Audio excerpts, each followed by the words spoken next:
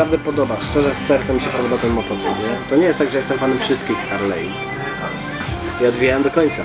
Maksymalną prędkość, jaką- osiągnąłem, to było 195 km na godzinę. Więcej nie powiesz? Z tymi kuframi. Ej, to jest naprawdę szybkie jak na Harley'a. 195 na godzinę? Powiem Ci tak.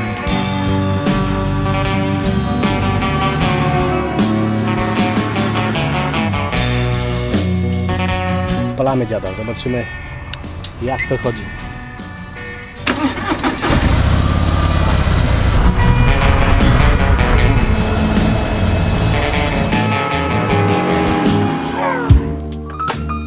Harley Davidson Sport Glide, motocykl typu Touring w nowej rodzinie Softail.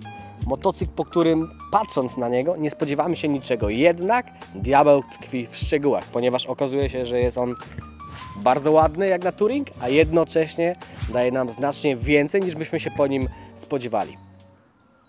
Zapraszam Was na film o nim czy coś. W tamtym roku mieliśmy okazję pojeździć Road Glide Special. To jest ogromna 400-kilowa maszyna, wielki, potężny mastodont turystyczny z logiem HDK. Ten motocykl także należy do rodziny Touring, jednak jego przynależność DNA wywodzi się z rodziny Softail. Ten motocykl ma być tym, czym Road Glide nigdy nie będzie. Jest lżejszy o 100 kg, tańszy o połowę, a oprócz tego mniej pali jest szybszy. Dla mnie same plusy i w zasadzie na tym byśmy mogli recenzję zakończyć.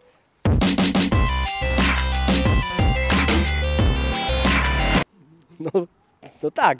Jakbym miał osobiście kupować Road Glide'a, turystyczny motocykl od Harley Davidsona. CVO odpada, kosmiczne pieniądze. Oczywiście są na to klienci, chcą się pokazać.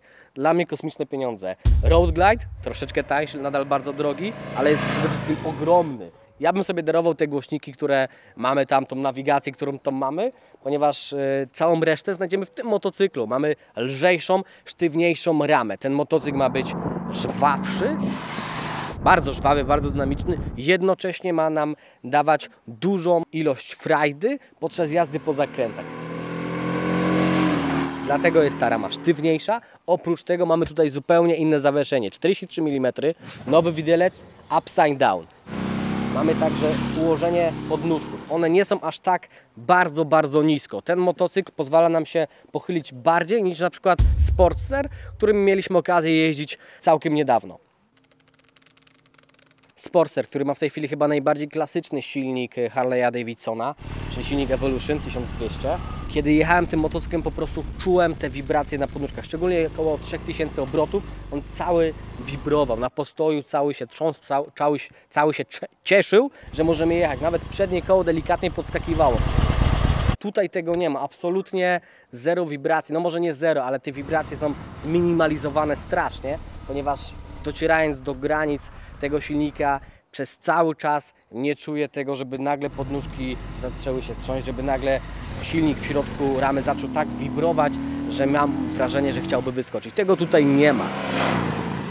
Więc to jest jedna z tych cech, która odpowiada za nowoczesność tego motocykla. Milwaukee 8, 107 cali, ponad 1700 cm pojemności, wielka V2. Jednak tutaj mamy wałki wyrównoważające, sztywniejszą ramę. To oznacza dużo mniej wibracji. Milwaukee 8 samo w sobie wibruje mniej niż e, stare motocykle Harley Davidson, natomiast ta wersja w tym motocyklu w porównaniu na przykład z Sportsterach to jest zupełnie inne zachowanie, zupełnie inna kultura pracy silnika.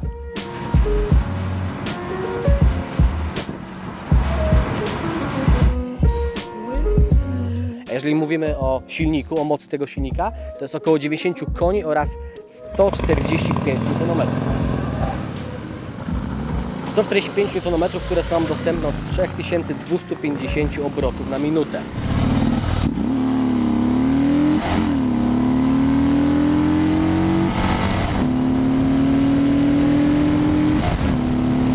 I tutaj ciekawostka, tak jak Sportster wydaje mi się, że znacznie szybciej osiągał tą swoją pełną moc, tak tutaj od 1000 do powiedzmy 1800 obrotów niewiele się dzieje. Naprawdę jak na dużą V2 z mocnym dołem, to tutaj w tym zakresie niewiele się dzieje. Sytuacja zupełnie się zmienia, kiedy przekroczymy 2000 obrotów, kiedy przekroczymy 3500 obrotów, on zaczyna dużo bardziej gardłowo się odzywać i wydaje nam się, że to już jest koniec, że, że pociągnęliśmy go do końca, ale nie możemy przekroczyć 5000 obrotów i wydaje się to w motocyklach na przykład sportowych czy nakedach, te 5000 obrotów to tak o, tak o dochodzimy do tej wartości. Tutaj nie. Tutaj trzeba go naprawdę długo ciągnąć, żeby do tego dojść. Ta górna wartość obrotów, e, mocy, momentu obrotowego wydaje się nawet większa niż z dołu. Więc to jest ciekawe, że Harley Davidson zrobił V2, która lepiej żyje i lepiej oddycha w górnym zakresie obrotów. Ja strasznie lubię go ciągnąć po obrotach, prawdę mówiąc. Nie trzeba, można do 3,5 tysiąca koniec, on wtedy fajnie przyspiesza, ale jak chcesz pokazać to, co on potrafi, to ciągniesz go wyżej. I tu jest właśnie jedna z cech, która jest przyjemna w tym motocyklu, ponieważ na pozór, patrząc na niego, nie spodziewamy się po nim niczym. Nie mamy po prostu wobec niego żadnych większych oczekiwań.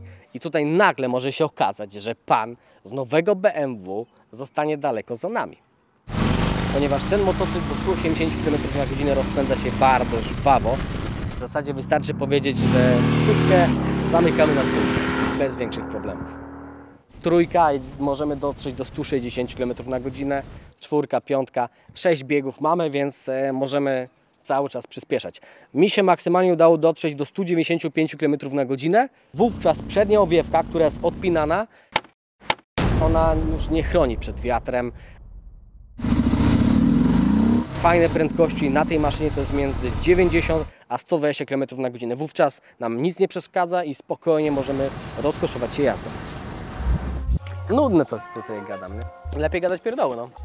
I to jest, to jest specyficzny mm, motocykl turystyczny, naprawdę specyficzny. To, to jest, może o tym warto powiedzieć, że jazda motocyklami touring od Harley Davidsona to jest bardzo specyficzne doznanie. To nie jest tak jak w przypadku japońskich motocykli.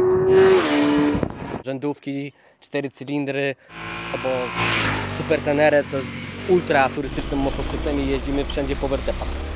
Nie, to jest motocykl przeznaczony do jazdy po dobrym asfalcie. Mało tego, to nie jest motocykl, którym będziemy walili 1000 km dziennie. Ja przejechałem nim dokładnie 490 km pierwszego dnia,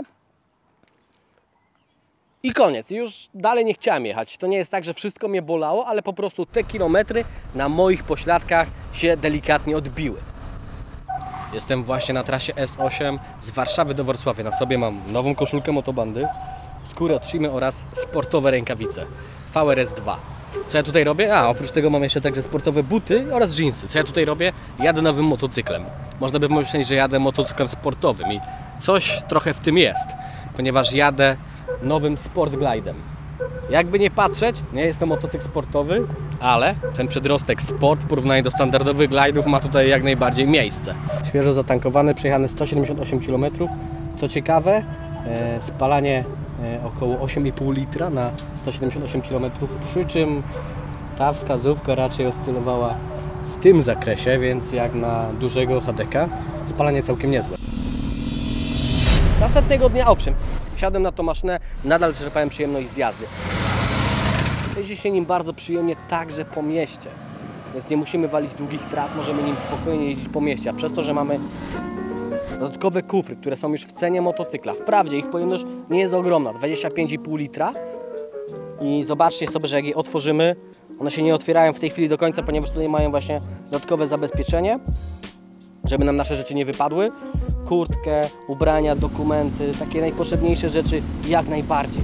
To wcale nie oznacza, że musimy koniecznie jechać takim motocyklem w góry, nad morze. Możemy, owszem, ale nie musimy. Ponieważ dojeżdżając do pracy, jeżeli potrzebujemy rzeczy na przebranie, wozimy ze sobą papiery, jakiekolwiek inne rzeczy, to okazuje się, że użyteczność takiej maszyny właśnie z bocznymi kuframi jest ogromna. Owszem, to nie jest tak wąskie jak supermoto czy skuter, ale bywają mi skutery szersze od tego motocykla. On naprawdę nie jest bardzo szeroki. Manewrowanie tym motocyklem jest dziecinnie łatwe. Nawet jeżeli wcześniej nie jeździłeś takim dużym 300-kilowym motocyklem, nie ma się czego bać, warto przyjść, przejechać się, bo jest po prostu to łatwe. Spalanie tego motocykla podczas y, naszych testów przy normalnej jeździe, ale dynamicznej. To nie było dziadziowanie, bym powiedział, dziadkowanie na drodze, czyli do 140 do 160 km na godzinę. Spalanie oscylowało w granicach 5 5,4 litra. To jest naprawdę mało. To, jest 1,5 litra mniej, nawet 2 litry mniej niż w przypadku Road Glide'a i dwa razy mniej niż w przypadku V-Roada. Chociaż oczywiście w V-Roadzie emocje są zupełnie inne, nie? Maksymalne spalanie tego motocykla, jakie ja zarejestrowałem, to jest 6,5 litra, kiedy cały czas wskazówka prędkościomierza oscylowała między 160-180 km na godzinę, więc naprawdę jest mega przyzwoicie jak na taką wielką maszynę. E, oprócz tego kilka smaczków. Z przodu mamy LEDowe światło, nowoczesne, fajnie wyglądające. Felga, którą widzimy z przodu, tą felgę standardowo dostajemy w tym motocyklu, nazywa się Mantis. Jest bardzo fajnie zrobiona, spolerowana, więc mamy czarne kolory, mamy chrom. Fajnie to po prostu wygląda. Z tyłu mamy lakierowany na czarno układ wydechowy. I wprawdzie ma on Euro 4, ale zobaczcie co się dzieje na świecie. Japończyki brzmią jak czajnik z gotującą się wodą.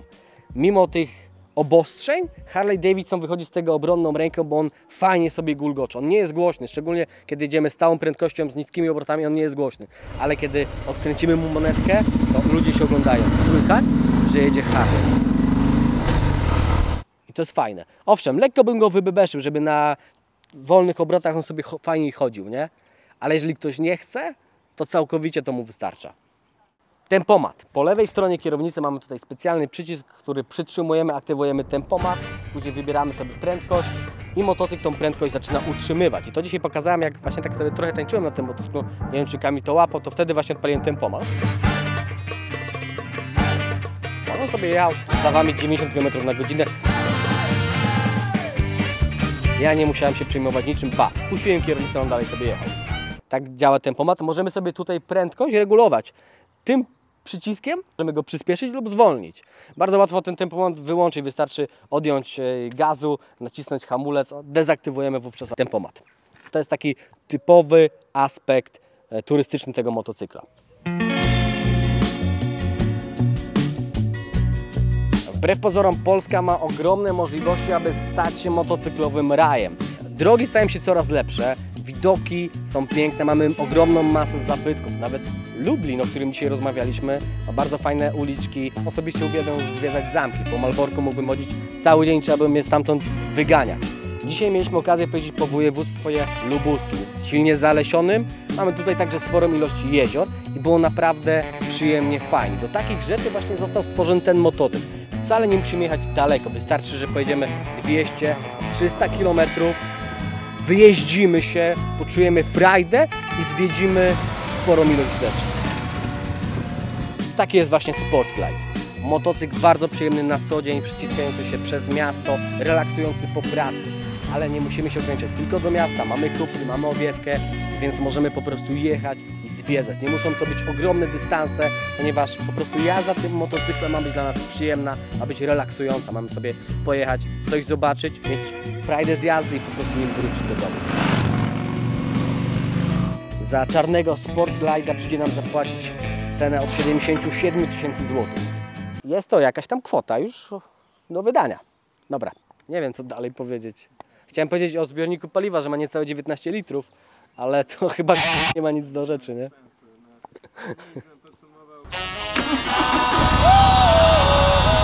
Dźwięk jak to się uruchamia zawsze fajny, jakbyśmy odpalali kopalnię drewna. Kopalnię drewna, jakbyśmy odpalali kopalnię węgla. I my zatrudniamy takich ludzi, bo nas nie stać na innych.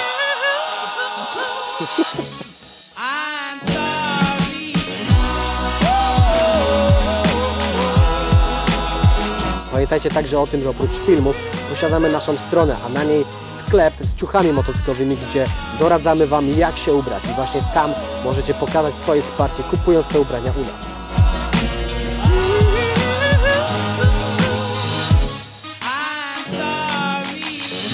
Podobają Wam się nowe motocykle od Harley Davidsona, jeżeli przede wszystkim podoba Wam się nowa linia Softail, to mamy dla Was dobrą wiadomość, ponieważ następnym motocyklem, który będę testował będzie wreszcie Fatboy.